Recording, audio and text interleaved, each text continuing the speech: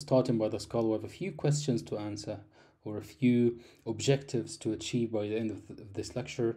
And starting by, we need to know what are the compositions of the skull bone. We have multiple bones forming the skull, for example, the frontal, the parietal, the occipital bone, and also the mandible, maxilla, uh, and uh, the zygomatic bone as well, and also the of the bones of the orbit. So we need to talk briefly about that, how these bones are formed and how they are connected to each other. And also we need to talk about multiple views. Uh, the way you can think about the skull, it's a closed box that has six walls. So basically we need to talk a little bit about the anterior, or looking at the skull from the front or the face, as you can see here. So anterior view of the skull. And if you look laterally or from the sides, so we need to get as well a lateral view of the skull. And then you might need to get a posterior view of the skull as well. And maybe looking from the top, that's a superior view, or looking from the inferior surface, that's an inferior uh, view as well. The inferior view is particularly more important because it has, as you can see here, lots of foramina. All right, so it has lots of uh, foramina, as you can see. We need to talk about these foramina and what are their contents. And finally, when you open the skull and look from the inside, you will find that there is, um, or there are three cranial fossa. We need to talk about those and their contents as well. So basically, we need to talk about the composition of the skull. What are the bones forming the skull? Is there any classification that you can classify these bones in? Um, and also how these bones are formed histologically and then talking about a few views of the skull anterior view lateral view on both sides and posterior view and superior and inferior view as well. More importantly about the skull base the foramina and their content and finally the cranial fossa as well. And then the second part of the lecture will be talking about the meninges, and uh, the meninges, these are the coverings of the brain, and the meninges are formed of three layers, the dura mater, the arachnoid mater, and the pia mater. We'll talk briefly about those three, and uh, more importantly, about the dura mater, including its um, how is it formed, and the falx cerebri, tentorium cerebelli, the nerve supply and the arterial supply of the dura mater, and then briefly about arachnoid and pia mater as well. So yeah, that's a quick summary to today's lecture. Um, so as I said, um, this is um, a 3D, so I'm gonna like move um, around the 2D images and the 3D images and come back to it. So as you can see here, these are bones connected together by sutures. So um, I'll show you 2D images and 3D images uh, throughout the whole uh, lecture and um, it should be clear.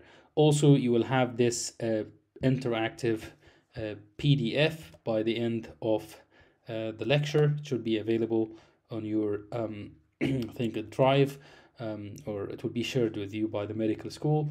Um, so yeah, if, if you have any questions, of course, I'll leave my contact details at the end. You can always contact me about these uh, contents. So starting by the first question about the composition of the skull, um, so it's basically formed of several separate bones that are connected uh, together by immobile joint, immobile joint, and these joints are called the suture lines. All right, the suture lines. Um, so multiple immobile joints that are present between multiple bones. However, there is only one exception to having a mobile joint, and this is the mandibular joint. All right, so mandibular joint is the only mobile one among all the other joints, which are called the suture lines. And we're going to talk about these sutures in a little bit more detail. So to identify a few bones on this lateral view of the skull, um, you can see that we have, um, rather, this is the frontal bone. Frontal means the bone at the front, basically. So this is the frontal bone, or your forehead. And then you have, this is the parietal bone. The parietal bone, this is the highest part of your skull and you also have here the temporal bone and at the end there is the occipital bone or at the back. And then here you have the zygomatic digomatic and also the maxillary bone. And at the end you have of course the mandible will be sort of here with the head of the mandible and the body uh, as well. Okay uh, so these are basically the bones of the skulls but we're going to talk in a little bit more detail about that. So how would you divide these bones so basically you can have a quick uh, sort of classification of these bones into a cranium and the face. All right, a cranium and the face. The cranium is basically where your brain is. All right, so all this area is where your brain is, and this is basically the face or the bones of the face. All right, so uh, cranium and the face. So starting from here, this is of course a 2D image, just a diagram from uh, uh, a very lovely Egyptian anatomist called Fawzi Gabala. Um, I would definitely recommend that you uh, looking at his books is, is very good, um, uh, but it's only in 2D, all right? So starting by um, number one is uh, the frontal bone, as mentioned early, and number two is called the parietal, the parietal bone, and three, of course, the occipital uh, bone as well. Four is the temporal bone, and um, you have five here. This is called the greater wing of the sphenoid, but let's for now call it the sphenoid bone. All right, this is the sphenoid bone. Of course, nine is the mandible, and uh, eight is your maxilla.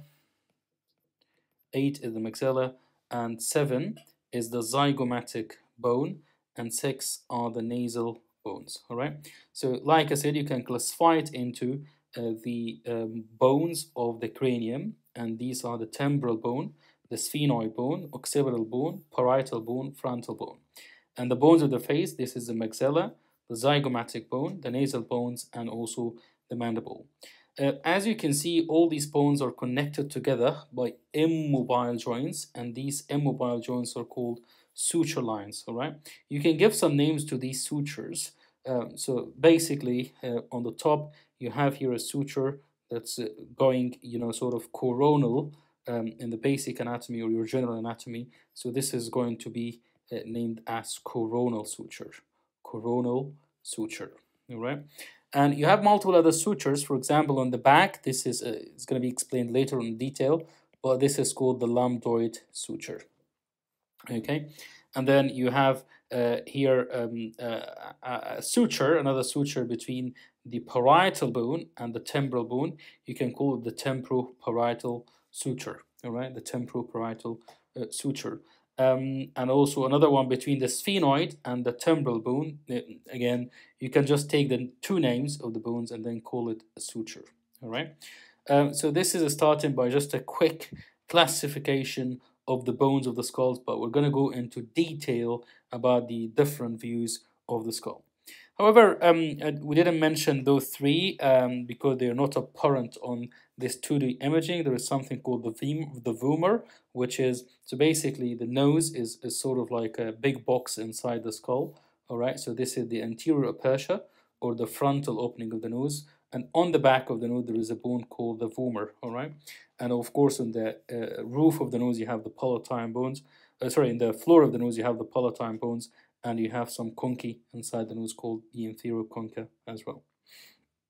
Okay so the skull bones are formed and this is a quite an important diagram. I think we're going to come back to it multiple times. Um, so the skull bones um, are formed of two tables, all right, two tables, uh, and in between a spongy cancellous bone, all right. So what does this mean? So you have for each skull bone, you have an outer table and an inner table, and in between there is some sort of a spongy or cancellous bone, all right.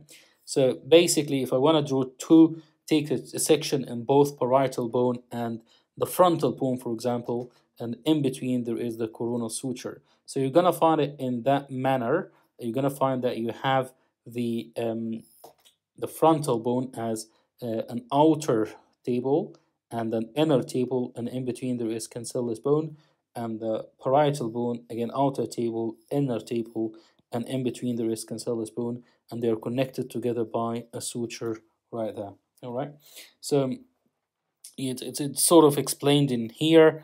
Uh, so you do have um, the the spongy bone or uh, the cancellous bone in the middle is called the um, diploe. Diploe, all right. So you have an outer table right there, an inner table right there, and in between there is the diploe, right? So external and internal table separated by a layer of a spongy bone called the diploe. These bones are covered by periosteum in the outer and the inner surface. All right. But to be more accurate, and this is going to be explained in the meninges. So let's say if this is a bone which has outer and inner table, and in between there is cancellous bone. On the outer coverage there is pericranium, all right, or a periosteum, just right there. And on the inner surface there is the endosteal layer, all right, the endosteal, the uh, the periosteal layer of the um, the the dura mater, all right. This is the periosteal layer of the dura mater. So we're going to talk about this in a little bit more detail in at uh, the end of this lecture, so let's not rush to that. Okay, so uh, if we're gonna go to um, sort of an anterior uh, view of the skull, anterior view of the skull, um, these questions I like to leave them to the end.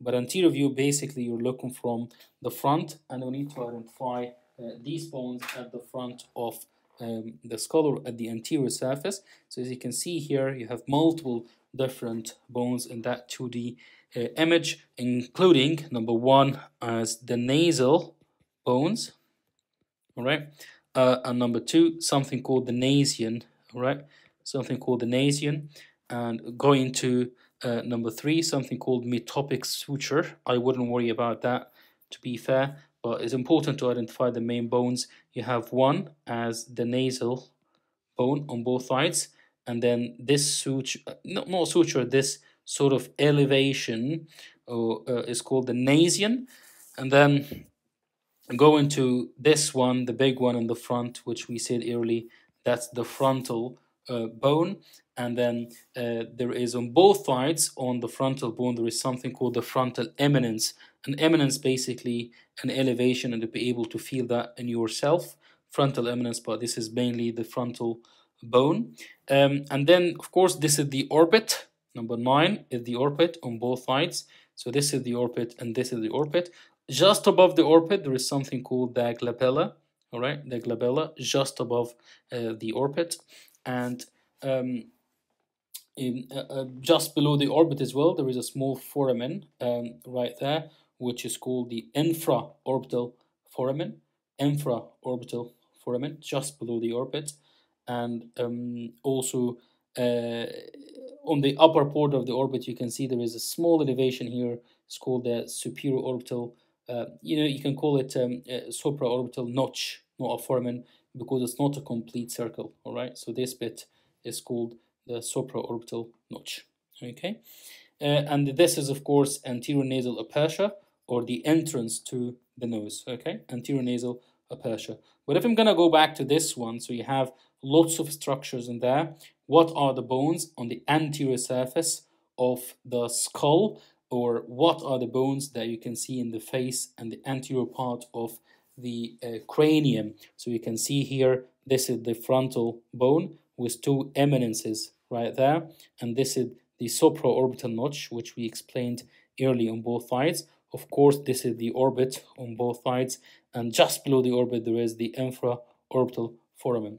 And the bones again, you have the frontal bone, and also you have the nasal bones right there, and also the zygomatic bone.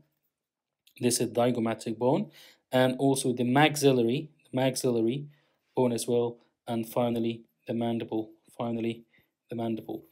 Of course, all of these will be coming together by sort of sutures. So for example, between the zygomatic and the maxillary bone, there's going to be a suture called the zygomatico, zygomatico maxillary suture. Zygomatico maxillary suture. Again, this is the uh, uh, this is the the whole bone right there is called the zygomatic bone, right? And let me just uh, circulate that one. So this is the zygomatic bone. And of course, uh, this one is going, the maxilla going all the way up. All right, so let's identify what is this suture. For example, this is a suture between the frontal bone and the zygomatic bone. It's going to be called the fronto-zygomatic suture. The fronto-zygomatic suture. All right. Um, this is, of course, the maxilla going all the way up. This part of the maxilla going toward the frontal bone is called the frontal process of the maxillary bone. The frontal process of the maxillary bone. Um, okay, so these are the bones and the front of the face. You have um, one, the zygomatic bone, two, the maxillary bone, and on the top, frontal bone and nasal bones as well.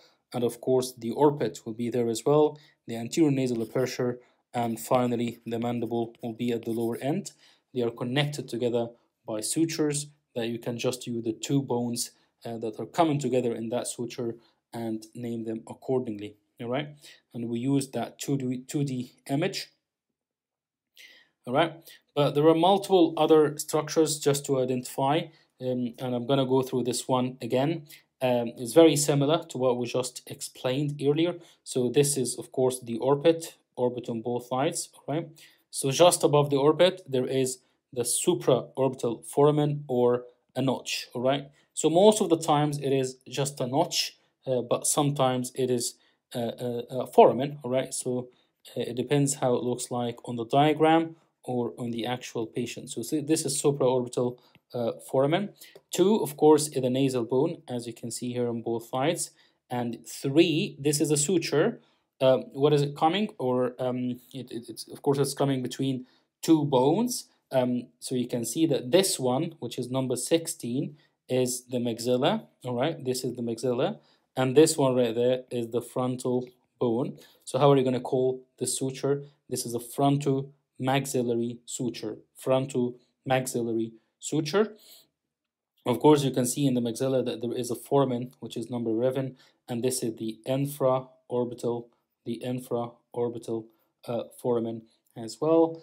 And if we go a little bit more in detail on number 5, and the diagram is pointing or the arrow is pointing to this one which is called the superior orbital margin. And um, let's go to number six is basically the lateral orbital margin. Number six is the lateral orbital margin. So this is superior orbital margin lateral orbital margin and of course eight would be the inferior orbital margin and four would be the medial orbital margin as easy as that just direction superior inferior and lateral and medial as well. Okay, there is a very tiny suture right there. Uh, again, we need to identify what bones is it connecting between. So it's connecting between the frontal bone and the zygomatic bone. So that would be fronto-zygomatic suture, as easy as that. Fronto-zygomatic suture. All right. There is a foramen here in the zygomatic bone. It's called the zygomaticofacial foramen. And of course, 10 will be the zygomatic bone, which is just right there. Okay. Um, so yeah, as easy uh, as, as that. Um, this is the maxilla. And on the maxilla, you have uh, sort of um, uh, something called the canine eminence. And also the number 12 is something called the incisive um, uh, fossa. Uh, and 11 is, uh, we talked about 11 already. Uh, 13, for example, is called the anterior nasal spine. I wouldn't worry about this uh, for now, but mainly you have the in the front of the face or the anterior uh, view of the skull, you have the frontal bone. All right, the frontal bone will have a few things to identify. The frontal eminence, okay, the frontal eminence, maybe the glabella, maybe the nasion, maybe the supraorbital um, or superior orbital foramen. And maybe you can talk about two sutures, fronto-zygomatic suture and the fronto-maxillary suture. Remember, fronto-maxillary and fronto-zygomatic suture. I don't know that the frontal bone will form the superior margin or the superior border or the superior boundary of the orbit. Okay, and then we talked about maxilla as well, and we know that the maxilla will have the infraorbital foramen and the nasal aperture or the anterior nasal aperture will be related to it as well. And finally, uh, there is the zygomatic bone with the zygomaticofacial foramen and the suture with the frontal bone. Another diagram which is a little bit more complete here. So one is frontal bone and you know remember that small notch that could be a foramen sometimes. So this is the supra-orbital notch 3 is of course the nasal bone, and 5 is the anterior nasal aperture, and 6 is the maxilla, 4 is the zygomaticofacial foramen. zygomaticofacial foramen. And then, of course, seven is the mandible. And you have a suture there between the frontal and zygomatic bone called the fronto uh, uh, zygomatic uh, um, suture. Another suture there between the maxilla and the frontal bone called the frontal maxillary suture as well active uh, view and a 3D view as you can see here. So this is the front of the skull or basically you have part of the cranium up there and part of the face down there. So this is the frontal bone as you can see here with two eminences on both sides. This is the frontal eminence and another elevation right there called the glabella on both sides. You can see that the frontal bone called uh, uh, represent the roof of the orbit. Of course, this is the orbit, and the roof of the orbit is formed of the frontal bone, as you can see right there. This is the frontal bone forming the roof of this orbit, and that's again the frontal bone forming the roof of the other orbit. All right.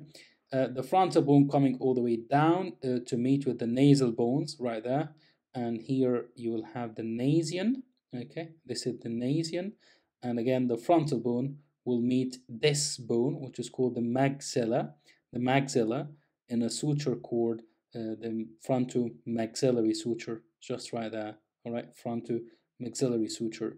On the other side, you have this is the zygomatic bone, with, um, of course, this is the zygomatic arch, uh, and moving all the way up with another process to meet the uh, frontal uh, bone in a suture called the fronto uh, zygomatic or the zygomatico frontal suture. You can call it the way you like.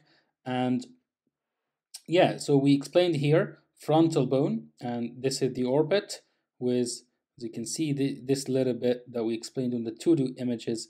This is the supra orbital notch, that's the orbit, and this is the infra orbital foramen, nasal bones, and nasion right there, and this is the anterior nasal aperture, and of course this is the maxilla and down there at the end this is the mandible um, we talked about that suture and we talked about that suture and we talked about the nasion and the glabella on both sides and that completes the anterior surface uh, of the skull anterior view of the skull.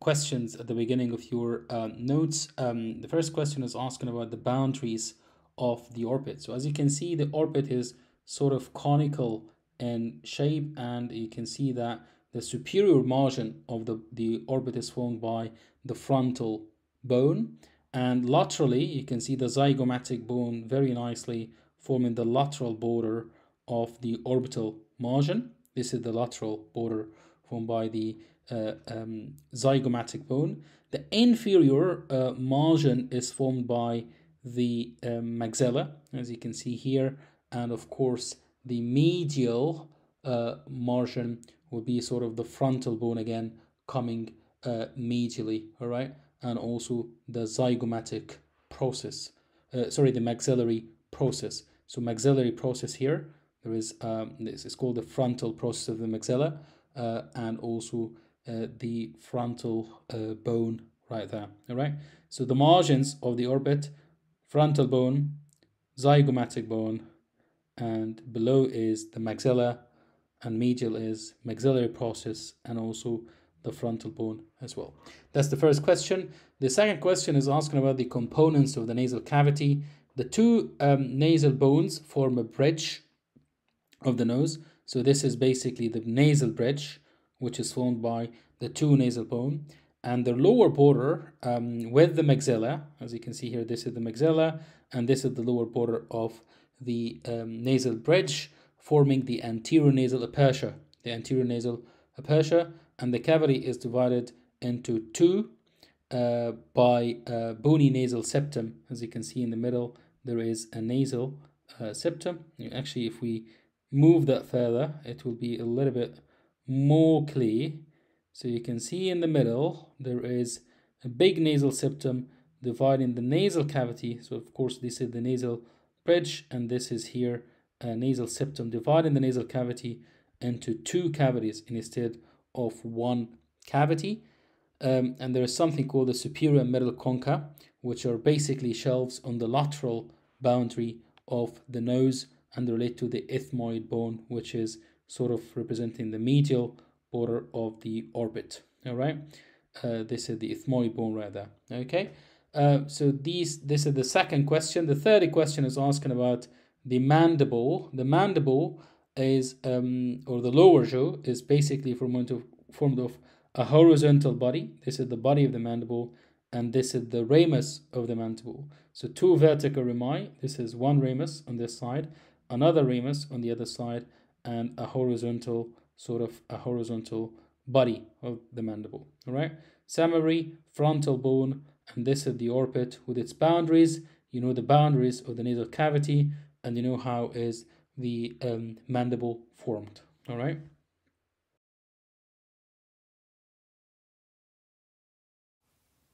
Moving forward, we're going to explain the lateral view of the skull. And as you can see here, it's basically the same bones um, that we, we talked about before. So we have here, this is the frontal bone, the frontal bone. And of course, that will be the parietal bone.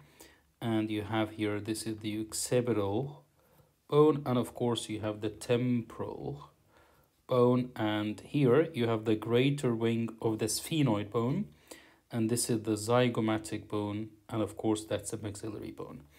Um, so uh, the sutures that are present in between, which we talked briefly about, remember you have uh, the zygomatic bone coming together with the frontal bone uh, through a suture called the frontozygomatic suture, right? And you have the frontal bone coming with the parietal bone on a suture called the coronal suture and the parietal bone coming with the occipital bone uh, forming a lambdoid suture or forming on the shape of a lambda all right?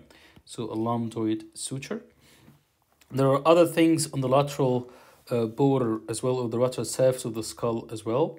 As you can see number six is the external auditory canal or the external auditory meatus and just below it there is the stylomastoid uh, the styloid process the styloid process Number five is the styloid process. And number seven is the mastoid uh, um, process, right? So this is five styloid process. And number seven is the mastoid process, just behind the external auditory meatus, which is uh, number six. Okay.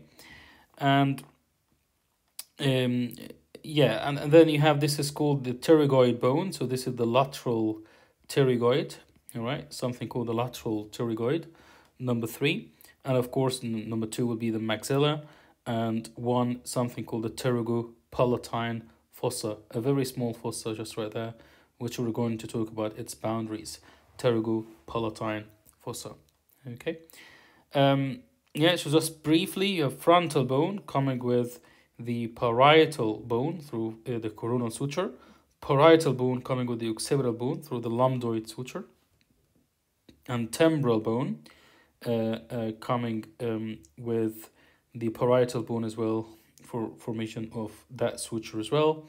Greater wing of the sphenoid with the zygomatic right there. And also you have the styloid process, the mastoid process, and of course the external auditory meatus on the lateral border. Okay, so the, the frontal bone, the conclusion here, the frontal bone forms the anterior part and the side of the skull, and it articulates with the parietal bone at the coronal sutures, which we explained here, and the parietal bone form the sides and the roof of the cranium.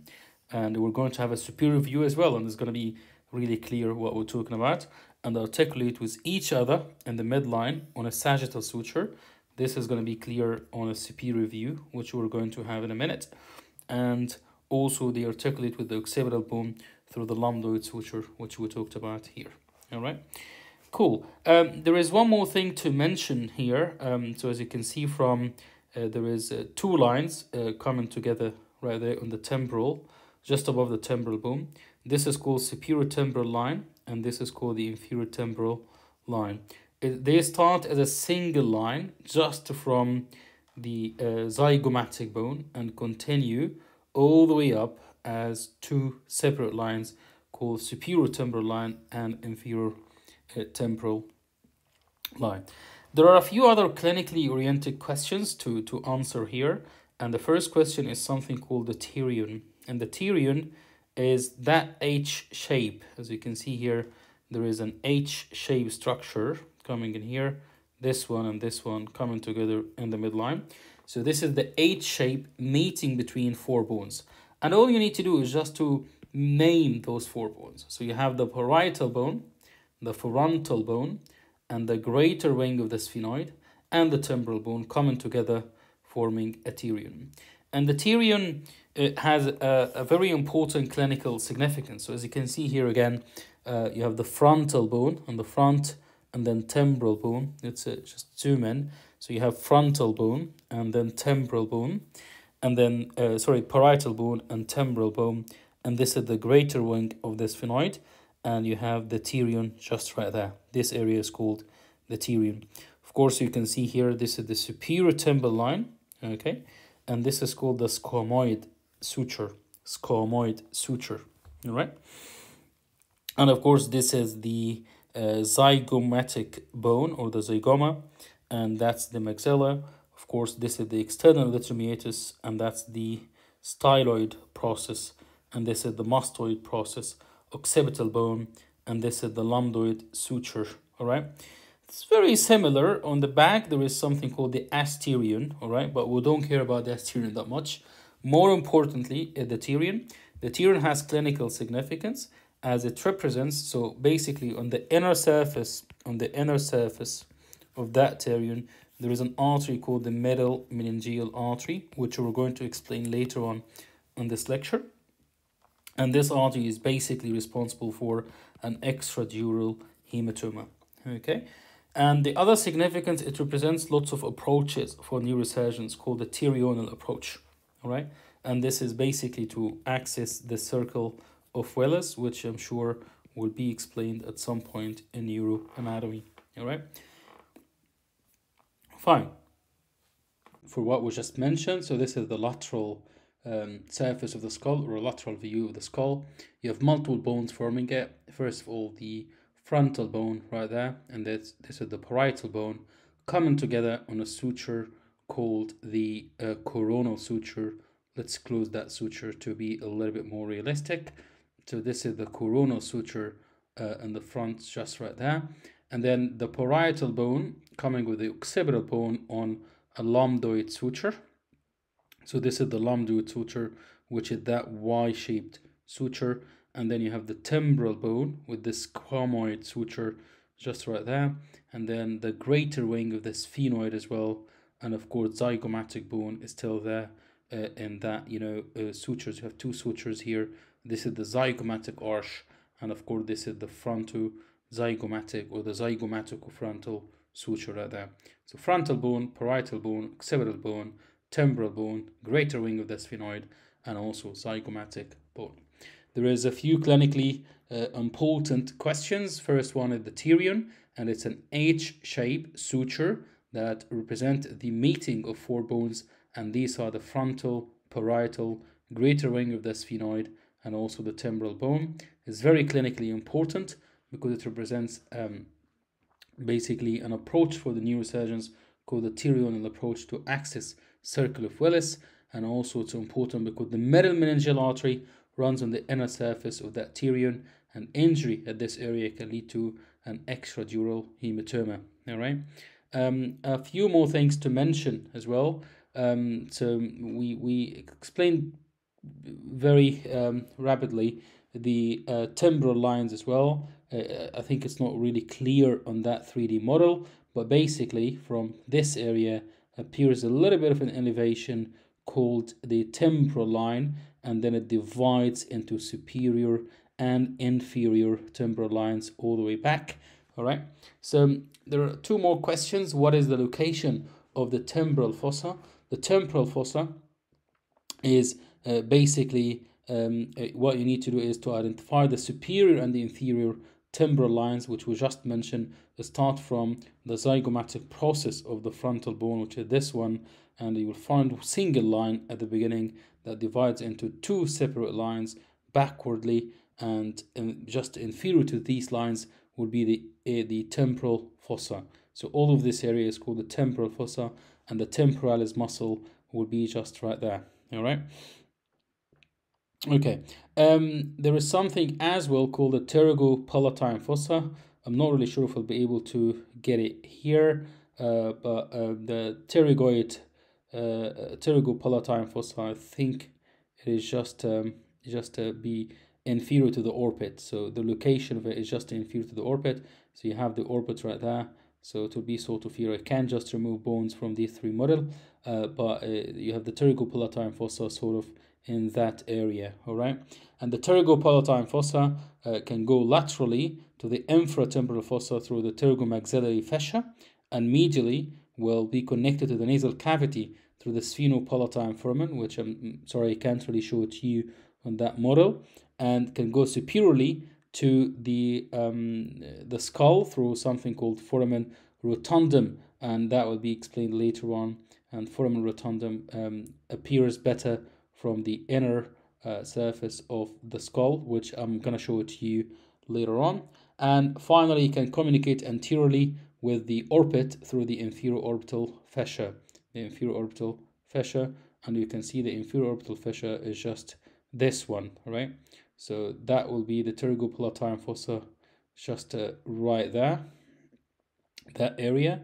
Okay, this is the pterygopalatine fossa. Okay, so it can communicate in four directions to the infratemporal fossa and to the orbit through the inferior orbital fissure, to the nasal cavity through the uh, sphenopalatine foramen, and finally to the itself through uh, foramen rotundum. All right, so this is a lateral view of the skull.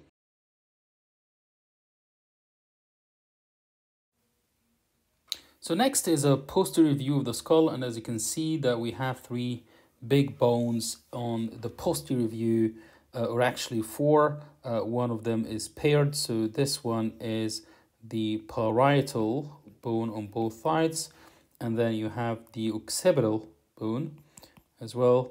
Uh, this is the occipital bone and finally there is a tiny one that you can see here uh, and this is actually part of the temporal bone uh, and this is the mastoid process all right which is present in the temporal bone. This is going to be even more clear on the 3d model. But let's identify the few structures uh, that is present on this diagram. So you have the meeting between the two um, parietal bones this one and this one in the middle. There is a suture which is called the superior sagittal suture all right or actually just uh, the sagittal suture, all right, sagittal suture, and just below to that suture you have the superior sagittal sinus. Um, and then uh, on both sides you can see multiple foramina uh, that is present that is called the parietal foramen, all right, this is number 15. And then the meeting between that suture and the other suture, which is this one, the other suture is called the lambdoid suture, all right, lambdoid suture.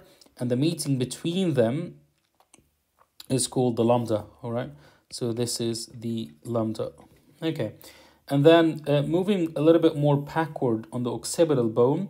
So one is basically something called the squamous part of the occipital bone, and two is called the highest nuchal line, the highest nuchal line, and three is called the superior nuchal line, and four is the inferior nuchal line, these basically represent attachment to muscles on the back of your neck. And then you have five external occipital protuberance. Protuberance is basically an elevation. I'm sure that you had this in your terminology in basic uh, um, introduction to medical school in your first year. And then number six is called a crest. Uh, this is the external occipital crest, external occipital crest and you can see number 8 here. This is the mastoid process. 8 is mastoid process and 7 is a mastoid notch. Okay? Mastoid notch and 9 is a mastoid foramen. Okay? 9 is a mastoid foramen. And then you have 10 uh, remember we explained the pterion previously but that will be the asterion which is very similar to it. But in the back 11 is the lambdoid suture and 12 is um, um, basically a suture bone. So sometimes you have the bony part of uh, that suture that splits as it does here and then it will have uh, sort of a bone in the middle. Okay, so the posterior view of the skull, you have two parietal bones meeting together in um, a midline, forming the, the um, sagittal suture. And the two parietal bones will meet the occipital bone, the squamous part of the occipital bone, forming the lambdoid suture. And they meet here to form the lambda. They meet on the other side to form the asterion. And then you have the squamous part of the occipital bone having the highest nuchal line, superior nuchal line, inferior nuchal line, and the external occipital crest and the external occipital protuberance. All right, and then you have the mastoid process and mastoid notch, and finally the um, foramen at the end, which is called the styloid foramen. All right, styloid foramen. Okay. Fine. Um, so that's the posterior view. We're gonna have a look as well at the 3D model. That 3D model, you can identify that you have two parietal bone meeting in the middle, forming the sagittal suture, and those two parietal bone uh, meeting the squamous part of the occipital bone, forming the lambdoid suture uh, bilaterally, as you can see here. This is a Y-shape uh, lambdoid suture. And then you have on that side, this is the, the mastoid process, mastoid process, and that's a mastoid notch. So this is mastoid process, mastoid notch. Mastoid foramen is not really clear here, but usually it will come where my cursor is. And then on the back, you have external occipital protuberance, external occipital crest. You have the, the highest nuchal line, which is a little bit higher, is not clear in that 3D model. And then superior nuchal line and inferior nuchal line at the end. Nuchal crest and external occipital crest and external occipital protuberance as well. All right. So actually, the foramen is quite clear on this side. This is the um, the the mastoid the styloid foramen, stylomastoid foramen. You can call it this way, and you have the notch just right there, and the styloid process is here, and the mastoid process is basically here. So I mean, now you you're able to identify that the temporal bone, okay, is formed of a squamous part, which is this part. That's why we call this area squamoid suture. And it has a petrous part, but that would be from the inside. And I'm going to show it to you when we go to the base of the skull. And it also has three processes, okay? Three processes, and this include uh, that process, the zygomatic arch, and the styloid process, and also mastoid process, okay? Long story short, two parietal bones coming in the middle forming sagittal suture, meeting inferiorly the squamous part of the occipital bone forming lambdoid suture. In the middle, it would be lambda. On the other side would be asterion. You have a mastoid notch, mastoid process, and also the stylomastoid foramen on the mastoid bone. Okay, so that's the posterior view of the skull.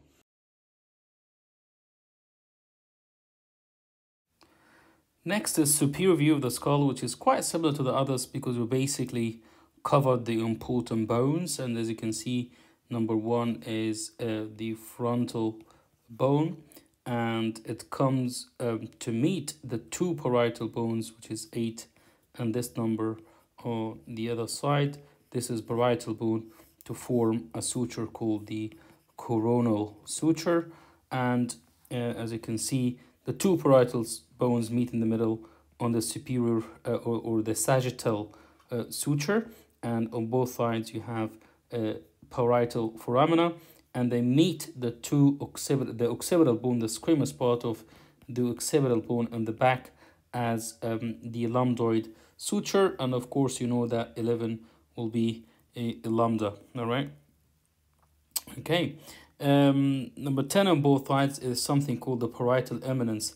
Remember the frontal eminence that we talked about? It's the same thing, which is some sort of a protuberance or an elevation of the parietal bone on both uh, sides. So this is superior view of the skull, and we're going to go now to the 3D model just to identify the same structures again. With the superior view of the skull, you can see the frontal bone meeting two parietal bones on the uh, coronal suture and two parietal bones meeting in the middle in the sagittal suture and this will meet the lambdoid suture uh, posteriorly between the occipital bone and the two parietal bones. This is called the lambda, the meeting between the sagittal suture and the lambdoid suture, and this is called the bregma, the meeting between the coronal suture and the sagittal suture as well, and these areas are called the uh, parietal eminence. Okay. However, we need to identify the following structures and all um, and also the structure that go through them. So starting by number three, this is going to be the carotid canal, and we're going to cover what passes through them now. But mainly, what we need to mention the carotid canal is internal carotid artery. Number nine, on this side, this nine is uh, is basically the foramen lacerum. Foramen lacerum. Mm -hmm. So this is this is going to be foramen lacerum. Okay, and foramen lacerum is is, is basically is if it's like a cavity like that. So the, the inferior part of the foramen lacerum will be obliterated by fibrocartilaginous material, and the superior part will have the internal carotid artery passing just above the foramen, but not actually inside the foramen lacerum. So the internal carotid artery will go from here and then will pass just over the uh, foramen lacerum as well. Okay, so we said foramen lacerum and the carotid artery uh, and the carotid canal. Uh, so this is number three, the carotid canal, and number nine is foramen lacerum. Obviously, number 10 will be the foramen magnum, which is the biggest one.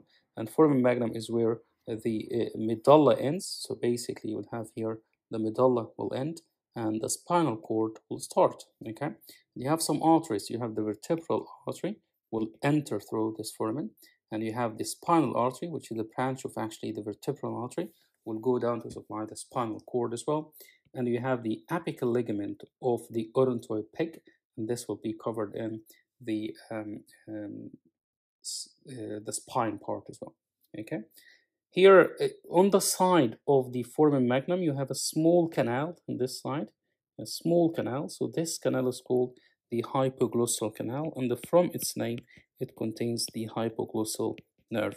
Okay, so this is the hypoglossal canal, which contains the hypoglossal nerve. What about number 20? Just lateral to the canal. So obviously the canal is from here and coming out from here as well. And on this side, just lateral to the canal, you have a big uh, quite big um, foramen just behind the carotid um, uh, canal as well. That's called internal jugular. Uh, continue the internal jugular vein. So this is jugular foramen. Okay, that's jugular foramen as well. And obviously the jugular foramen will contain internal jugular vein and uh, the nerve 9th, 10th, 11th nerve and the petrosal sinus uh, uh, as well, or the sigmoid sinus as well will continue at internal jugular vein. Okay, so these are the structures on this side. I'm not sure if there's anything else to cover. Maybe number 11, and this is foramen ovale, and we'll comment to that as well. Maybe number 12 is foramen spinosum, foramen spinosum as well. So these are the foramens from the inferior surface of the skull. Magnum is quite is quite evident, and just beside it is hypoglossal canal. Just lateral to hypoglossal canal is the jugular foramen, and just anterior to them is the carotid canal. A big one, which is irregular in shape, number nine. This is the um, foramen lacerum, and an oval foramen, so foramen ovale. Small foramen beside it, this is foramen spinosum. The structures passing through it, we'll comment to it now. So starting by carotid canal, that was number three and it contains mainly what you need to mention is the internal carotid artery, but otherwise be very happy to cover the others as well. But to be honest, what I prefer remembering is the internal carotid artery. Two, you have foramen lacerum, and we said it's two parts. You have a cartilaginous part, which is obliterated, and the other part which contains the carotid artery, internal carotid artery. You have foramen magnum as well, and we mentioned you have the medulla oblongata, um, will end and the spinal cord will begin and you, this reminds you by spinal arteries and this reminds you by vertebral artery and A reminds you with apical ligament which is attached to the odontoid peg as well. You have hypoglossal canal, we mentioned it number 15. Remember that canal from foramen magnum, small canal in here, the end right there, which contains hypoglossal nerve. Remember, jugular foramen as well. And jugular foramen, it, um, it contains the internal jugular vein. What form that is the sigmoid sinus, and then 9, 10, 11 nerves, okay? Great. Um, maybe we didn't mention 47, this one, is the stylomastoid foramen. So obviously you have here 26 is mastoid process, and just um, anterior to it the stylomastoid foramen, and this contains the stylomastoid artery, and the facial nerve leaves the cranial cavity through that foramen, stylomastoid foramen. Okay, so we're going to now cover the, the, the same foramina, but from the inside rather than from the outside. So this you now you're currently inside the cranial cavity. Number 11, again, that will be the um, uh, foramen magnum, foramen magnum, and we mentioned what, what is contained in it. You have the uh, medulla oblongata, spinal cord, spinal artery, vertebral artery, and apical ligament. 27, remember that is small canal, which opens on the outer side. So 27 will be the hypoglossal canal, and the hypoglossal canal contains hypoglossal nerve. Okay, hypoglossal canal contains hypoglossal nerve. All right, so number 30, if you remember, just lateral to the canal, but from the other side, that will be the um, jugular foramen. Okay, jugular foramen. Great. Um, looking a little bit closer, you know, this is this is an oval structure on this side, small structure beside it as well. So number 12 on the other side will be the foramen ovale, and 12, uh, 14 will be foramen spinosum, okay? And I'm going to mention the structures in a bit. It's quite easy to remember the ovale one, which um, goes with the name as well. O is otic ganglion, and V3, and uh, ascendomeningeal. We're going to come to that as well in a minute. Spinosum usually contains middle meningeal artery, okay? Listen, there is another foramen here just below the clinoid process, which is called the um, uh, foramen rotundum, foramen rotundum. Okay, this is foramen rotundum as well. Obviously, one is the anterior clinoid process, anterior clinoid process. Okay, and you have 34 is the optic canal, and from the name, it contains the optic nerve. Four is something called the clivus. It's just the bone, and uh, here this area so let me just uh, highlight it to you and then I'm going to delete that. So this area, we're talking about the, the, cellular, the um, cellular area or the sella turcica where the pituitary lies, okay? So 38 is the sella turcica. This is the sella turcica, okay? And um, um, you have number 8 and number 40 as well. So 40 is something anterior to it and uh, 8 is posterior to it. So 8 is going to be the dorsum sella, dorsum sella, and 40 is the tuberculum. It looks like a tubercle, so it's called tuberculum sella as well. Okay, so you have sella turcica and tuberculum sella just anterior to it. 42, which is a little bit subtle, it's a canal, but it's, it's actually a fissure or canal to be sort of like that. This is just a 2D image trying to show a 3D structure. So it's quite difficult to do that. But that will be the superior orbital fissure. Okay, it contains loads of structures that we're coming to, to, to we're going to mention as well. Okay, so I think, yeah, that's a good coverage to most of what need to be covered in this in this picture. So obviously here you have the internal occipital protuberance, number 29, on both sides, you have the transverse sinus will be lying on the 23rd. Okay. Um, yeah, so, so, so maybe we can say uh, uh, 43 is something called the tegmen tympani. Tegmen tympani.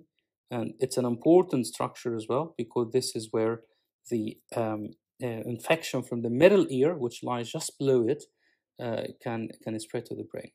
41, this is the temporal bone. This one is the temporal bone. So that's called the squamous part of temporal bone. 37, this is the petrous. So that's the petrous part of temporal bone. And this is obviously the superior porter of petrous part of temporal bone. And that th this looks like an impression in here. So that's an impression for superior petrosal sinus. I know it's quite tricky to try to remember this one, but with practice, it will uh, you'll be able to remember all of them. So we mentioned anterior clinoid process, number one, remember that. We mentioned the clivus, we mentioned dorsum sella, and petrous part of temporal bone, and squamous part of temporal bone, and tegmen tympani of 43. Here, we mentioned for a magnum and the contents of that, and we said it multiple times. Oval, we mentioned oval, it comes with the word oval as well. So O is for otic ganglion. V3, okay, so V3, it means reminds you of, of cranial nerve number five and the third branch. So that would be the mandibular branch of trigeminal nerve. A is called accessory meningeal artery, accessory meningeal artery. And you have um, L is lesser petrosal nerve and also emissary vein. So usually you confuse them. So you have an artery, nerve, and vein. So one structure of each, and it goes like A and V. Okay. Rotundum, I know mentioned rotundum, number 13, if you remember that, and that contains maxillary nerve, or now we're talking about V2, that's V2, or maxillary nerve, okay? And, and so remember, V3 was oval, and V2 is rotundum. Spinosum, that contains middle meningeal artery, we mentioned it. Hypoglossal canal contains hypoglossal nerve. Jugular foramen, 9, 10, 11, and inferior petrosal sinus or sigmoid sinus with internal jugular vein as a continuation to it as well.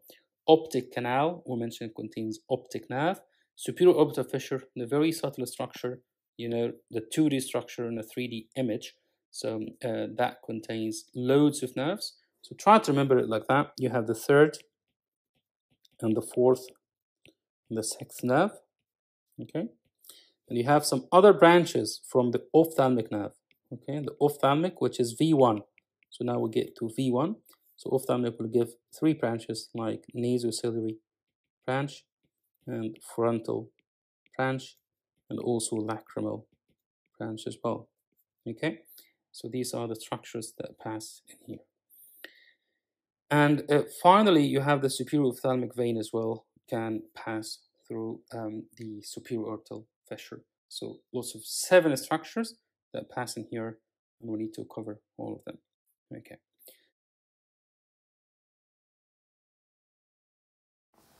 All right, this might be repeated a little bit, but I'm going to um, show a few structures on uh, this um, skull, the base of the skull from the internal surface again. So looking at this part, okay, so this is the anterior cranial fossa, and we can talk about the boundaries of the anterior cranial fossa, which are formed here. This is the uh, basically the frontal bone on the front, and you have the wing of the sphenoid, which is the lesser wing of the sphenoid bilaterally, and that will be the uh, anterior cranial fossa. And you have in the anterior cranial fossa as well, this is called the crista galli, which will be explained later on. It shows an attachment to the um, uh, falx cerebri, and this is called the cribriform plate for uh, basically the um, um, the olfactory nerve. And this is called the cribriform plate. Okay, and moving backward a little bit to the middle cranial fossa, as you can see here, uh, this is the temporal bone. And if you remember, we said that temporal bone is formed of, we said that the temporal uh, bone is formed of uh, as a petrous part. So this is the petrous part of the temporal bone and the squamous part, which is right there. And it has three processes, the zygomatic one for the zygomatic arch and the styloid and the mastoid process, right? So you can imagine that the midicranial fossa is bounded by the superior border of the petrous part of the temporal bone, all right? And anteriorly is the lesser wing of the sphenoid, laterally the squamous part of the temporal bone, and medially, basically, you will have the sella turcica um, on, each side, but basically the whole area, the butterfly area, is the uh, sort of the middle cranial fossa. Okay, and this contains the temporal lobe, and here it will have the cavernous sinus on both sides, and the pituitary will be present here. A few structures in the middle to identify. This is called the anterior clinoid process, and this is called the middle clinoid process will be sort of here and this is the posterior clinoid process. And this represents attachment to the tentorium uh, cerebelli uh, 40 is called the chiasmatic groove and um, you have uh, 38 is the sella turcica and 45 is the tuberculum sella and 8 is the dorsum sella so again uh, this is chiasmatic groove and 45 is the tuberculum sella and 38 is the sella turcica and 8 is the dorsum sella and 4 is something called the clivus all right? The clivus.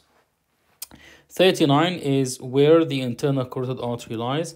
I'm sure this will be explained in the um, uh, vascular anatomy.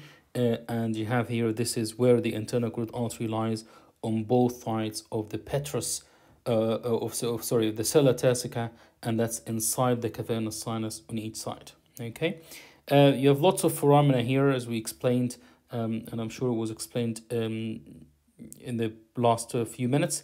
Uh, you have here this is foramen ovale, foramen spinosum, foramen rotundum and foramen lacerum and foramen magnum and hypoglossal canal and jugular foramen and the internal acoustic meatus uh, right there.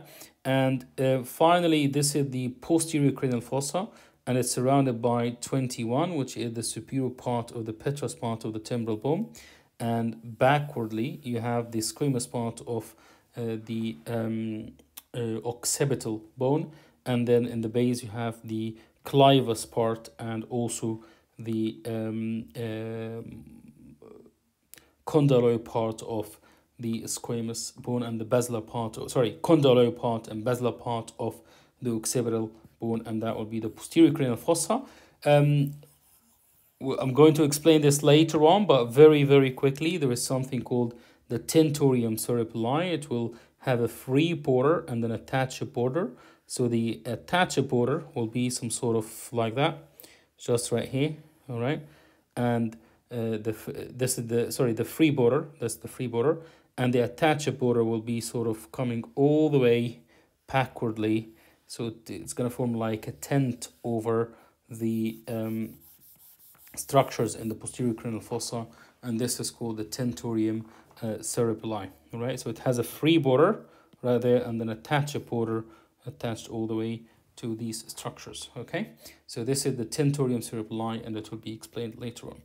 Uh, and also very very quickly as well um, looking at the base of the skull from the external uh, surface, um, as you can see here, uh, a few important structures. Uh, we didn't mention the vomer uh, early, so um, remember when we talked that there is the anterior nasal aperture, this is the posterior nasal aperture, and this is the vomer bone. What I would like you to know here, uh, this is the um, foramen magnum, hypoglossal canal, and this is the jugular foramen, carotid canal, and foramen ovale, foramen spinosum, and also this is foramen lacerum, and this is the stylomastoid foramen.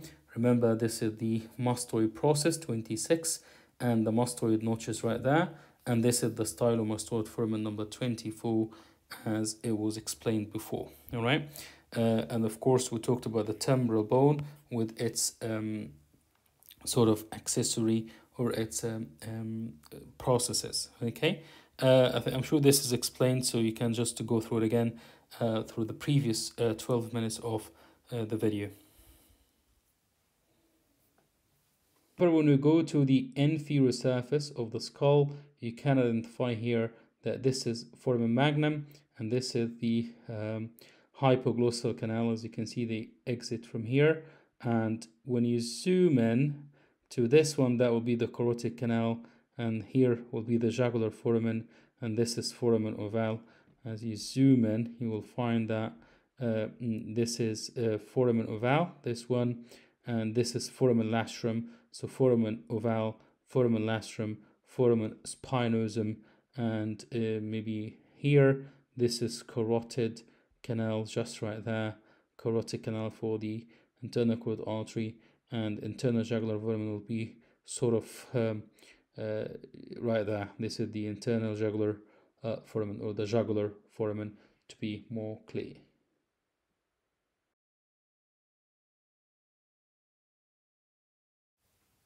this part was pretty much explained before, but we're going to go through it again quickly. So to identify the three cranial fossae and its contents, you can see here starting by this one that um, this is the anterior cranial fossa and it's related, the boundaries are the anterior clinoid posteriorly and the lesser wing of the sphenoid as well and the frontal bone anteriorly and the floor is formed by the orbital part of the frontal bone. Remember the um, upper boundary of the orbit was the frontal bone. And also you have the foramina for the cribriform plate and the crista galli, and this is the frontal crest, all right? Remember this represent the attachments for the falx cerebri, okay? So all of this is the sphenoid bone, and you can identify um, that these are the boundaries for the anterior fossa, so anterior clinoid, lesser wing of the sphenoid, and the frontal bone. The orbital part of the frontal bone represent the floor, cribriform plate, and crista galli as well, and it contains the frontal lobe ethmoid bone. Uh, uh, sorry, it contains the frontal lobe. Okay. In terms of the middle fossa, uh, as you can see, this uh, butterfly shape. So anteriorly, it will be related to the anterior clinoid process and the lesser wing of the sphenoid, same thing. Laterally, related to the squamous part of the petrous, sorry, of the temporal bone, and posteriorly, the superior part of the petrous bone, and also the dorsum sella, as you can see here.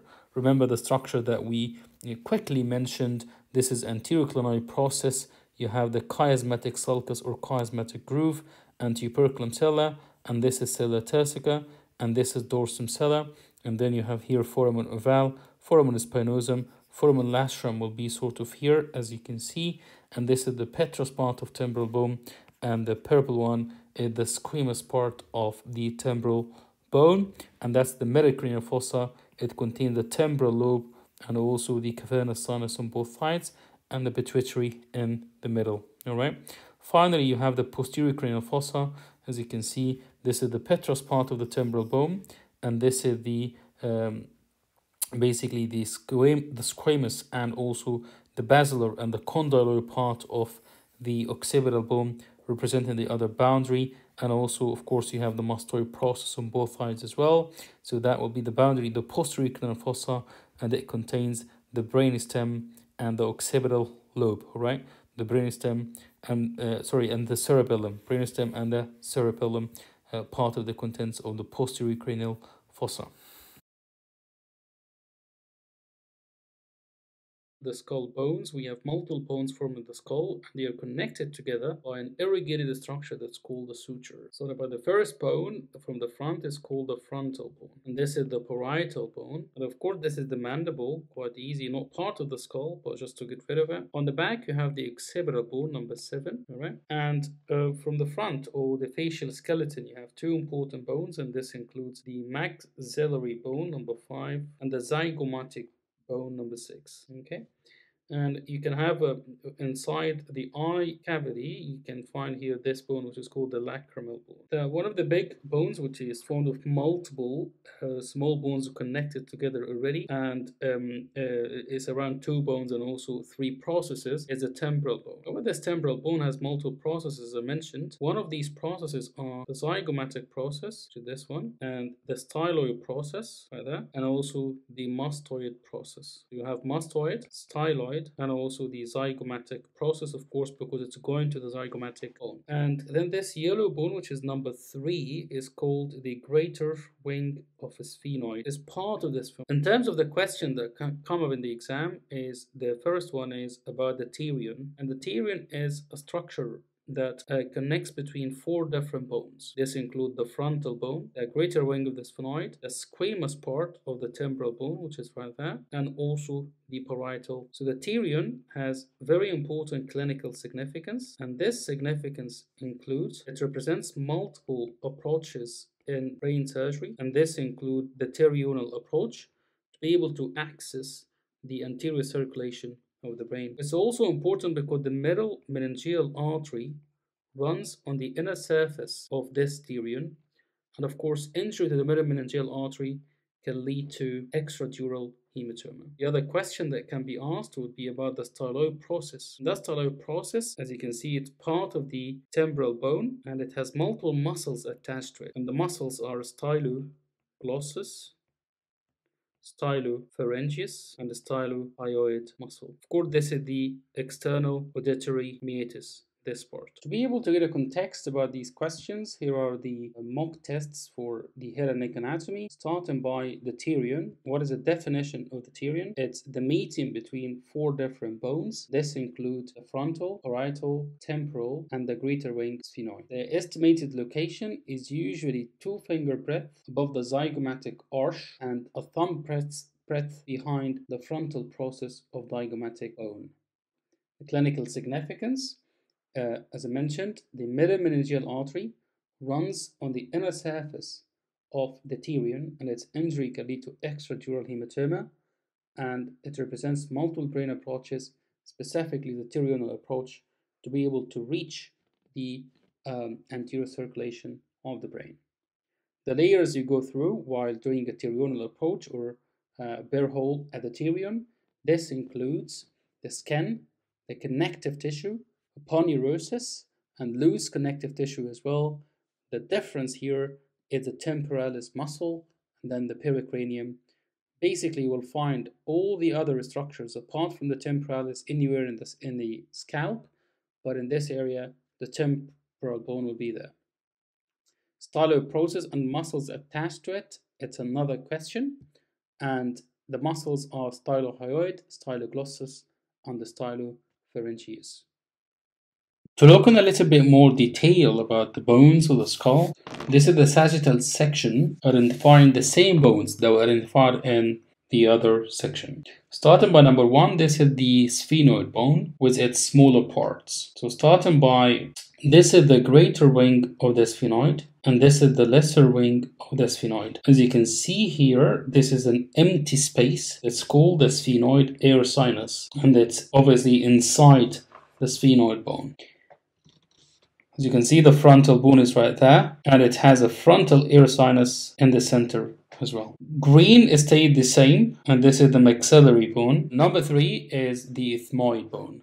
Five is called vomer, and six is called the palatine bone. Seven, of course, is the occipital bone, and eight is the temporal bone, and nine is the parietal bone. As you can see here, there is a big impression of an artery on the inner side of the pterion, and this is called the middle meningeal artery. As you can see here, this is the pterion, formed by four bones, parietal, frontal, greater wing of the sphenoid, and also the squamous part of the temporal bone. This is another view for the skull bones when we're looking from the inferior surface and this is of course the teeth and you can see um, the maxillary bone uh, still in the same color connected with the zygomatic bone here number two. And the um, number four will be the temporal bone with its different parts which we mentioned multiple times. Of course it has three processes. This is the zygomatic process and here you have the mastoid process and the styloid process and we'll mention the muscles attached to the styloid process as well. This is the external auditory meatus, and that's of course the mandibular fossa. Mandibular. Um, the big bone in the inferior part of the skull will be the occipital bone, as you can see here. There are different parts of it. This is the external occipital protuberance. External occipital protuberance. All right, and this is foramen magnum, and we're gonna explain this later on. It's actually explained in the previous videos. You can watch them. Foramen magnum and this is the condylar part or the occipital condyle or the condylar part of the occipital bone and that's the basilar part of the occipital bone. There are lots of foramina here. Um, those will definitely be explained uh, later on or already explained in previous videos. You can watch them. Uh, as you can see here, this is the stylomastoid foramen right there. Stylomastoid foramen.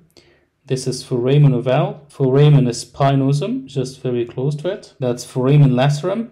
right there. And this is carotid canal, all right, carotid canal. And that's, of course, foramen lacerum on the other. We've explained before the temporal bone and that is formed of a squamous part and three processes. You can see the process here, this one, is the zygomatic process. This is a styloid process and this is a mastoid process. We also mentioned that it has a fossa here that is called the mandibular fossa and this is where the head of the mandible is going to articulate to form the mandibular joint. On this photo you can see that the head of the mandible is number one and this is the articulating part of the mandibular joint, of course, two the condyloid process.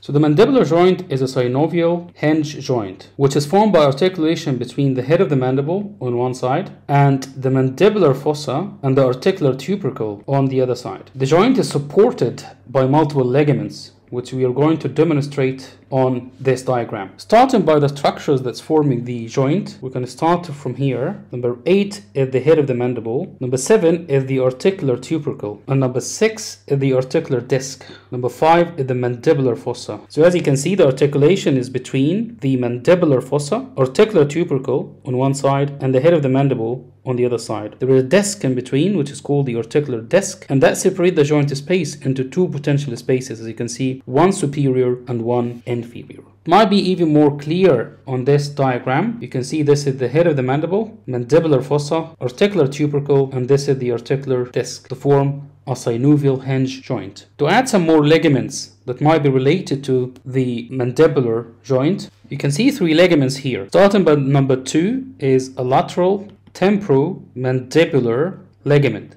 Three is a sphenomandibular ligament between the sphenoid bone and the mandible. And four is a stylomandibular ligament, of course, between the styloid process and the mandible as well. This will leave us with one, which is the joint capsule. The exam questions might be related to one, the movement of the mandibular joint, two, the type of the mandibular joint, and also the structures forming, forming the mandibular joint. We talked about the structures, that it's the mandibular fossa, articular tubercle, and the disc in between, and the head of the mandible below. Type, it's a synovial hinge joint. The movement of the mandible can include protraction, retraction, side-to-side movement, and gliding movement, and opening and closing as well. You can see six different types of movement. You might also be asked about the muscles causing these movements, which is explained before in multiple videos and will.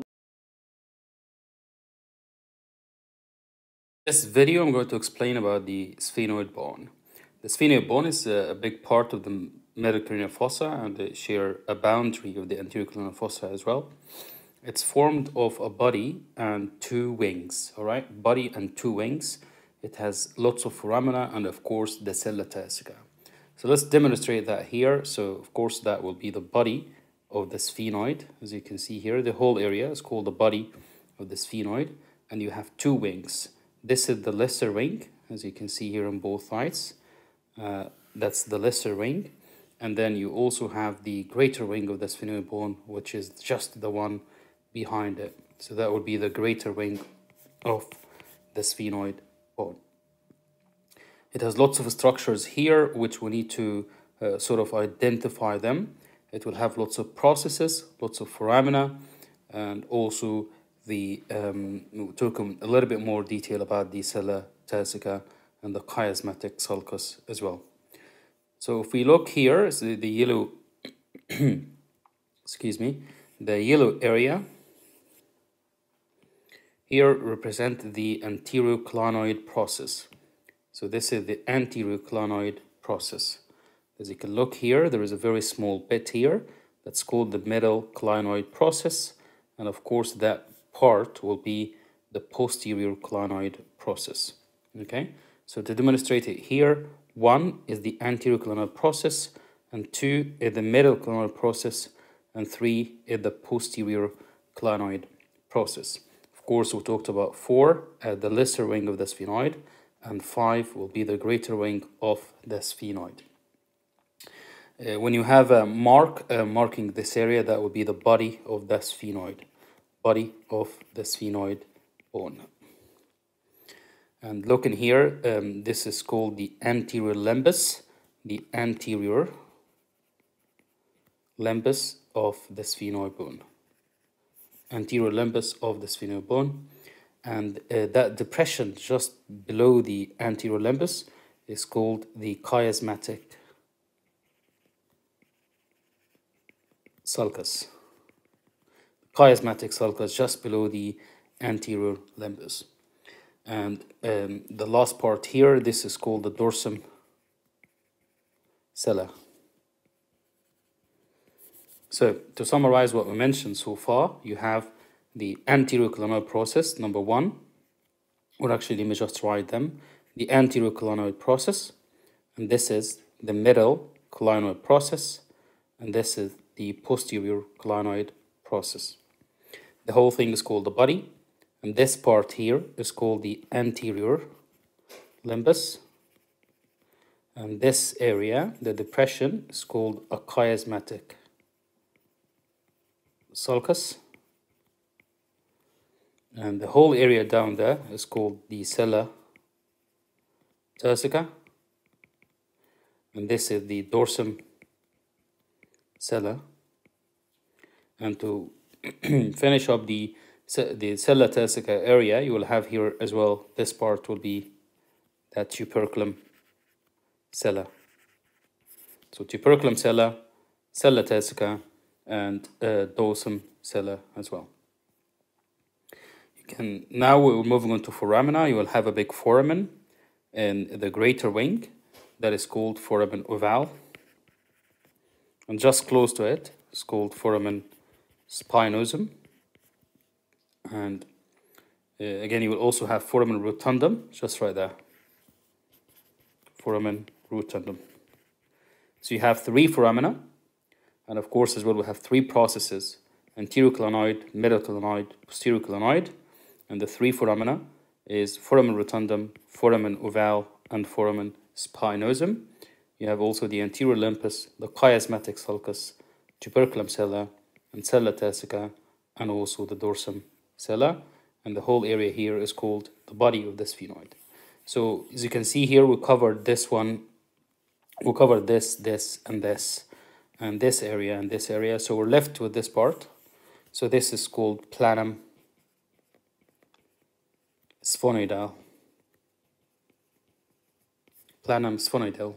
All right. So in this one, uh, this is foramen spinosum, which we mentioned it early. And this is a canal called the Vidian canal. It carries an artery. Vidian canal. That is the greater wing of the sphenoid. And this is the lesser wing of the sphenoid bone. And this is the planum sphenoidal. And that is the sella turcica. And this will be the tuberculum sella. And we're going to cover this on the next video. This is another view of the sphenoid bone and we're looking slightly infra superior um, as you can see here, and that's why you can see an important fissure here, which is called the superior orbital fissure, all right? The superior orbital fissure.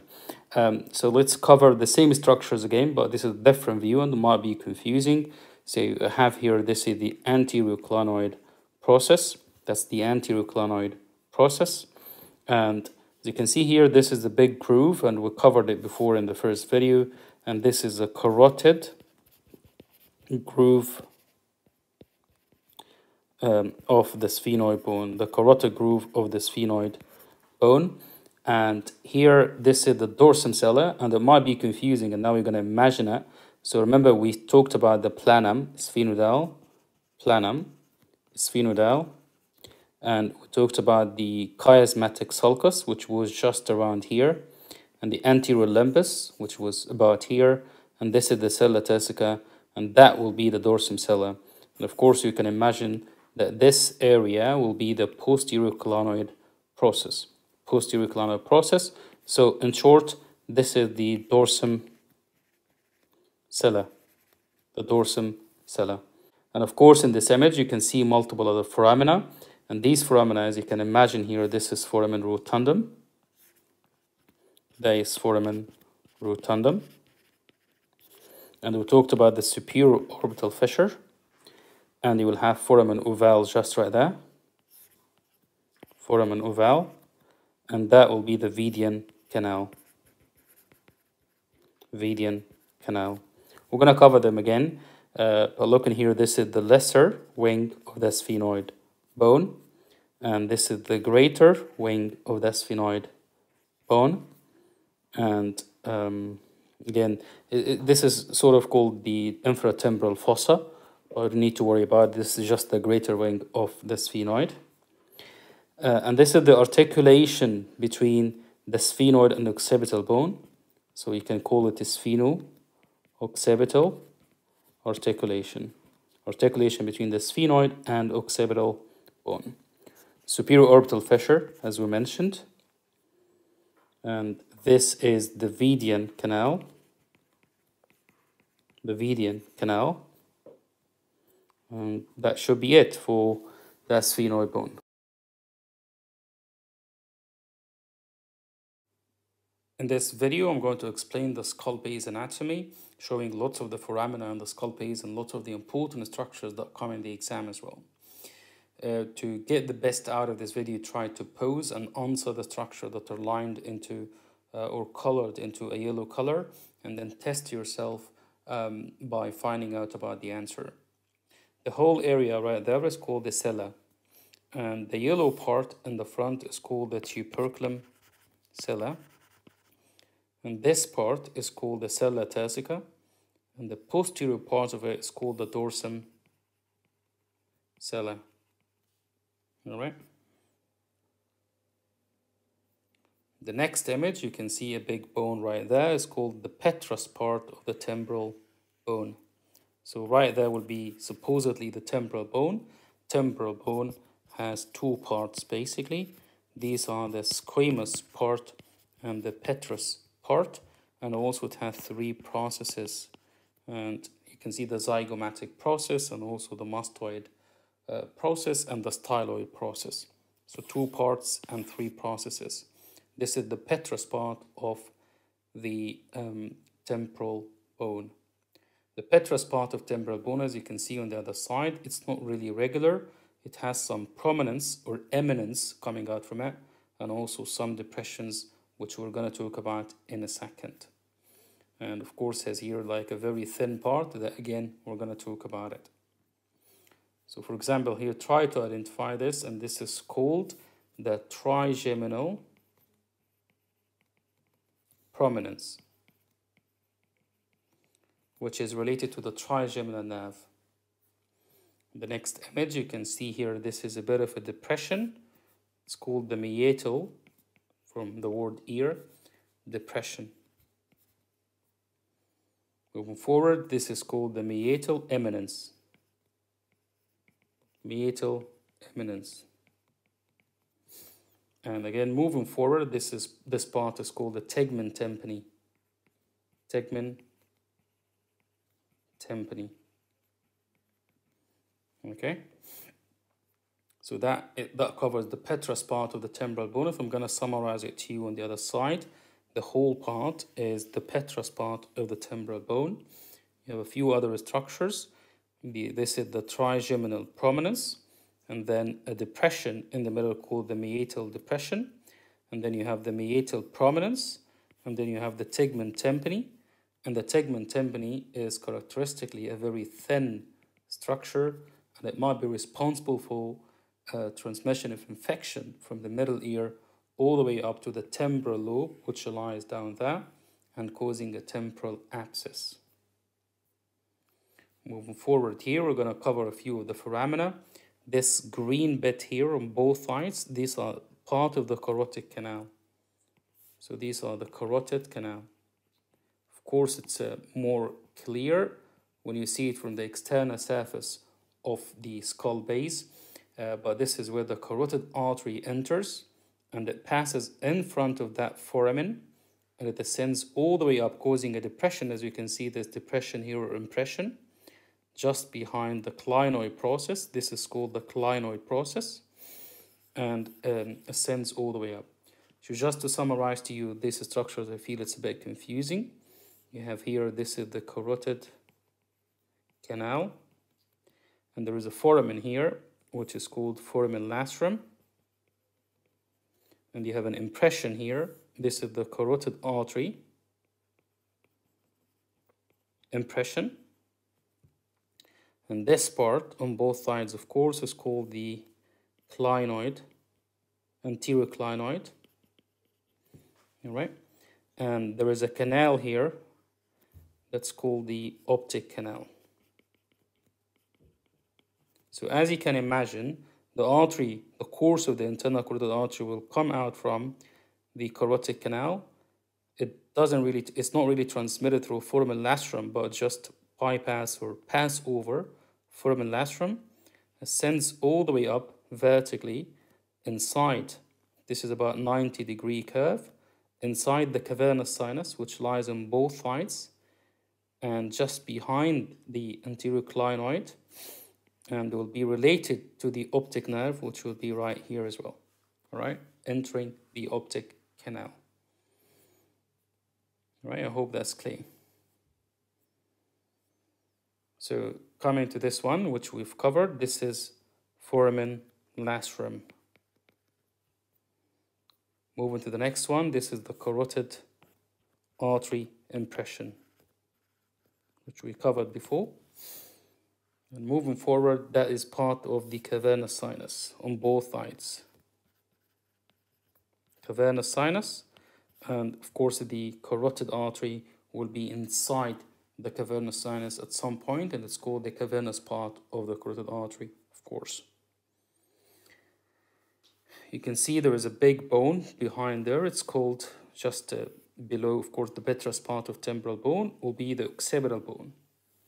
The occipital bone has multiple parts of it. This is called, the yellow part here is called the clival part of the occipital bone. You have also a condyloid part and a basilar part of the occipital bone, which will be covered later on. So here, this is the clival part of occipital bone. Of course, that's occipital all right? And that middle part of the clival part of the occipital bone is called the clivus. And it's characteristically can be um, can has a can have a fracture um, as part of the the middle cranial fossa skull base fracture and can lead to injury of some nerves, specifically the third or the sixth nerve as well. And seventh nerve, of course, with the petrous part is involved. Looking here, um, we mentioned early you have um, the skull base divided into anterior cranial fossa, and these are the boundaries of the anterior cranial fossa, and also the middle cranial fossa, and these are the boundaries of the middle cranial fossa, and also posterior cranial fossa, and these are the boundaries of the posterior cranial fossa. These are covered before in um, different parts of the videos. Looking here, this is the cribriform plate in the anterior cranial fossa. Cribriform plate. There is a prominence here, as you can see, this is called the crista galli. Crista galli, and it does represent the attachment for the falx cerebri. We covered this part before. This is the sella, right there. So that is the sella, and this is the tuberculum sella anteriorly, and that will be the dorsum sella. Lots of other foramina. This is an oval in shape, so that will be foramen oval.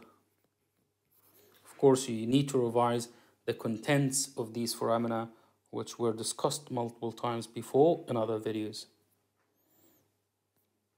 identifying this very small foramen closer to foramen ovale is called foramen spinosum. And on this one, you can see there is a big foramen here. Let me get the ricotta. There is a big foramen here, it's called foramen magnum.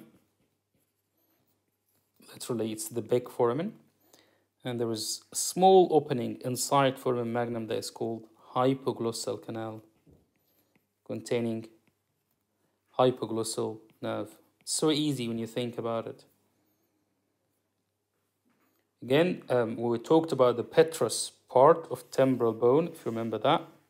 So basically, to summarize, on the tip of the petrous part of the temporal bone, you will have the carotid canal. Just in front of it, you will have foramen lacerum. You have lots of depression and the thin part, and also lots of prominences. So this is the tegmen tympani. This is the uh, meatal uh, eminence and meatal depression and the trigeminal prominence as well. And there is an opening here in the petrous part of temporal bone called the internal acoustic meatus, which contains the vestibulocochlear nerve and of course the facial nerve as well. Internal acoustic meatus.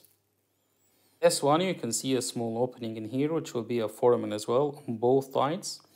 So the way I think about it, it's sort of an extension. So you have a foramen here called foramen magnum related to the hypoglossal canal right there and another one right there that would be the jugular foramen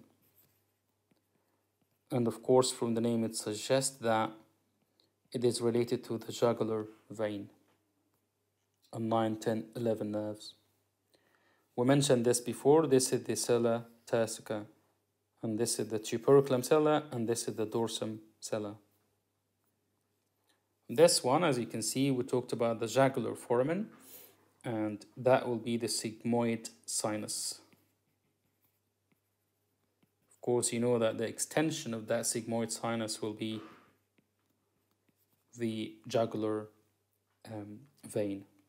All right, so this is the sigmoid sinus. Moving forward, you can see the transverse sinus will be like that. There is a good video which I explained about the sinuses. So this is the transverse sinus on both sides and that will continue as the sigmoid sinus and then will continue as the jugular vein. Again, this is the middle cranial fossa. You can see a foramen here, the green one. Try to identify it and talk about the contents of this foramen. Could be a question in the exam. And this foramen or a fissure is called the superior orbital fissure, superior orbital fissure. It contains lots of nerves, uh, including, of course, think about it, what nerves will need to go from here to go to the eye. So you'll have the third and also the fourth the sixth nerve. To also have the lacrimal and the nasociliary and the frontal nerve, all right? And we'll have some ophthalmic veins as well. Moving forward, you can see uh, here there is uh, something called the trochlea. All right, trochlea. And this one, it's a, it's like a quick summary on what we mentioned. Um, so you can see from the front, this is the cribriform plate, and this bit is the crista galli, and this is the anterior clinoid process, anterior clinoid process. There is a canal very close to it. It's called the optic canal. And then you have the tuberculum sella. And then you have the sella turcica. And then the dorsum sella. And then it goes all the way down as the clivus. All right. And then you have here, this is foramen ovale. And this is foramen spinosum or foramen spinosum Of course, you can see even the petrous part of the temporal bone with the internal acoustic meatus right here and the jugular foramen right there. All right. Of course, this is foramen magnum, and here there is the hypoglossal canal. Okay. So you can see here, this is the optic canal. Superior orbital fissure will be sort of here. Of course, we can't see it in a, 2, in a 2D image. And uh, that, that will be the foramen oval foramen spinosum. There are other structures here like foramen lacerum, you see you can see it on the other side as an extension of the petrous part of temporal bone. That's a carotid artery impression, while it's coming out from the carotid canal right there. That will be the carotid artery impression. and or a carotid groove and on both sides of the sella you will find the cavernous sinus. Again, you can test yourself here. I'll write a few numbers for you.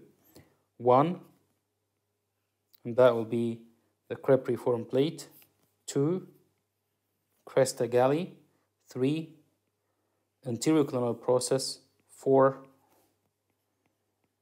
that is optic canal. Five, tuberculum sella.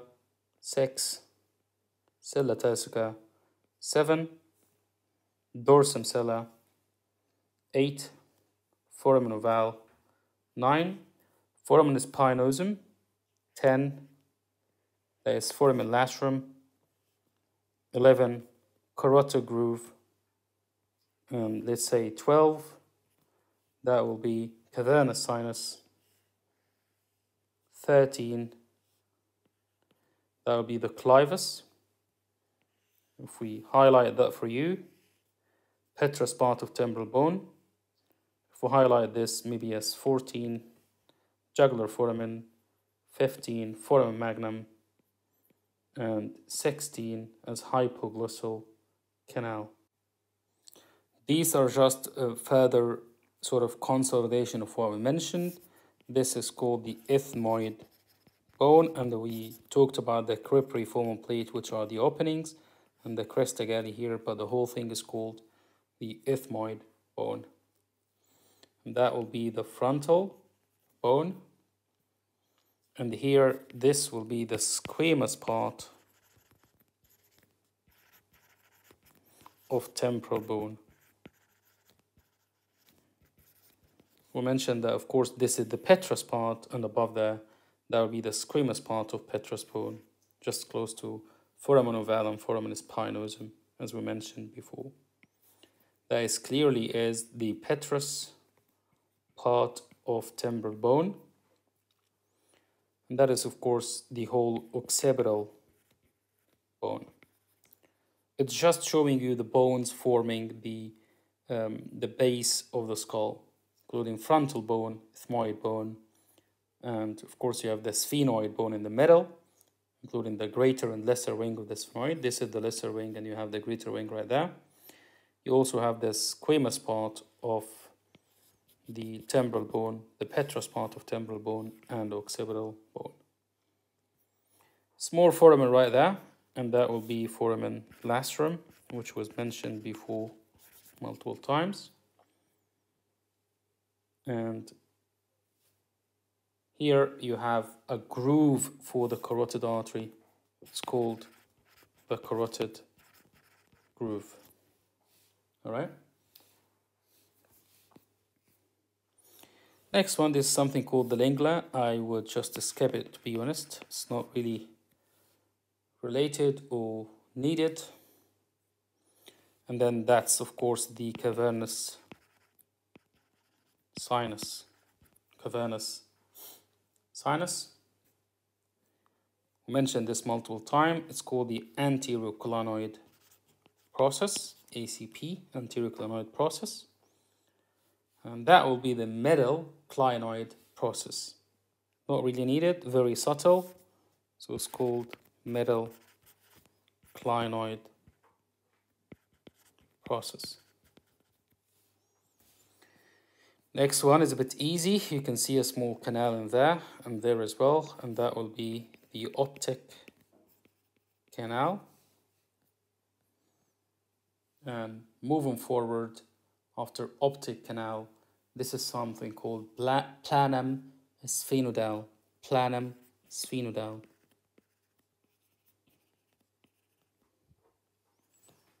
All right, sphenoidal, sphenoidal, sorry. Planum sphenoidal. Okay, it's basically the roof of the sphenoid bone. So we have here, that's the roof of the sphenoid bone and the uh, wings and the processes coming out from the sphenoid bone, which is forming, of course, part of the base of the skull. That would be the tuberculum sella. Further details here, tuberculum sella. And then this is the sella turcica. And I assume that will be the dorsum sella right there.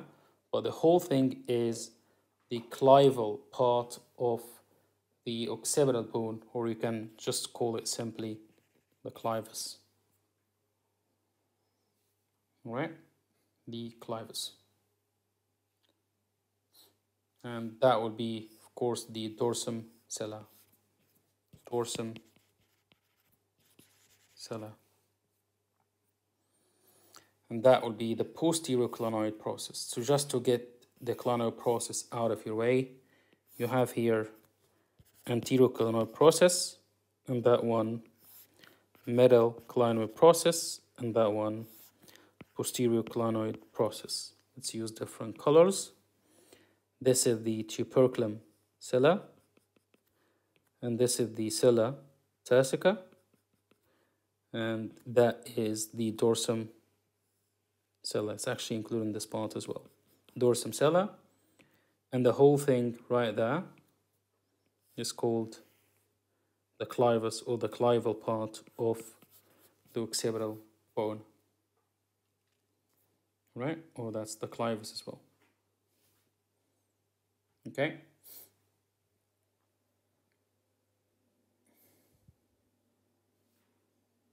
There is a fissure here, it's called petroclival fissure. When you think about it, it's between the petrous part of temporal bone and the clivus, so that's why it's called the petroclival fissure. The commonest foramen here is called the jugular foramen, and I told you how I think about it. I think about foramen magnum, hypoglossal canal, and then a big foramen closer to them is called the jugular foramen. Right? And after the jugular foramen, there is it's a it's a so basically the jugular foramen is sort of two parts. So this is called the petrous, the petrosal part of jugular foramen. But to be honest, I wouldn't subclassify them into two parts. All right. Of course, if this is the petrosal part, so this is the sigmoid part. Sigmoid part and petrosal part of jugular foramen. And the small bit that is um, sort of dividing them into two foramina or two small foramina, which is this one, is called the intrajugular process of temporal bone. Intrajugular process of temporal bone. Right? So that's actually a fourth process. You mentioned the, the temporal bone has um, two parts and three processes, and that's a fourth one. Sometimes it's not actually present. This is internal acoustic meatus, quite easy. We mentioned that it contains the seventh and eighth nerve. Seventh and eighth nerve. This foramen we haven't mentioned till now is called foramen rotundum. So the foramina in this one, which are very clear, this one is foramen ovale, spinosum, rotundum, superior orbital fissure, optic canal on both sides, foramen lacerum, carotid canal will be closed at, jugular foramen, hypoglossal canal, and foramen magnum. We'd like you to look at this one, try to identify all the structures. We talked about planum sphenoidal, tuberculum sella, and also three clinoid process, anterior clinoid process, medial clinoid process, and also the posterior clinoid process. Okay, you have the sella turcica, dorsum sella, the clivus, the petroclival fissure, which is right there, and lots of other foramina. I will talk a little bit more in detail about different bones, but that will be in another video.